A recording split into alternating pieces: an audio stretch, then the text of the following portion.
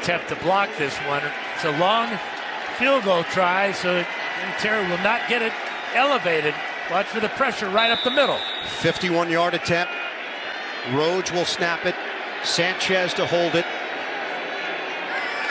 The veteran Vinatieri sweeps the leg. 51 yards away. The Colts take the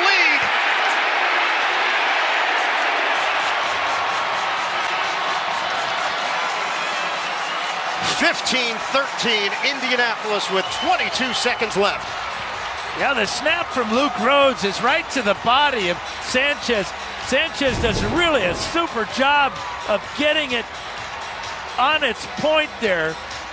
And was there ever any doubt that Vinatieri wouldn't come through?